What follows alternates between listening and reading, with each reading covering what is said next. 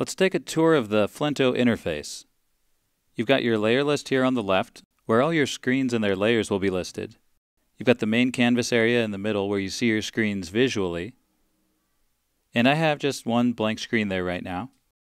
And then you have an inspector on the right side that shows options for whatever's currently selected. With nothing selected, you see document options in the inspector. And when you first create a new document, you'll probably want to take a look here and possibly change the screen size of your document. You can pick from common device types or choose custom and enter in your own dimensions. I'm going to do that and I'm going to use 740 pixels wide by 500 pixels tall with a pixel density of 1x.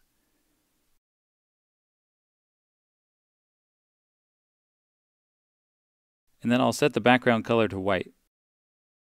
Your prototype consists of screens. You can add screens with the Add Screen toolbar button or by double-clicking in an empty area of the canvas.